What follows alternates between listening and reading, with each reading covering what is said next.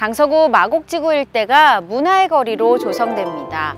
지역의 특성을 살리고 주민들의 의견을 반영해서 IT 융합 문화, 그린, 비즈니스, 역사, 여가 등총 5개의 문화존으로 거듭납니다.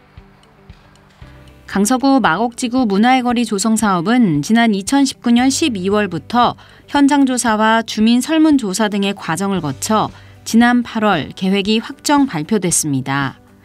먼저 발산역에서 마곡역까지 1km 구간은 마곡 문화거리로 문화공원과 VR 체험존, 버스킹존, 프리마켓 존 등이 구성된 IT 융합 문화존이 만들어집니다.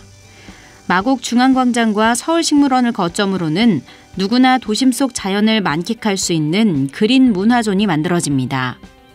발산역에서 양천향교역 방향은 마곡지구에 입주한 기업의 회사원들이 쉬면서 스트레스를 풀 수 있는 비즈니스 문화존으로 탈바꿈됩니다.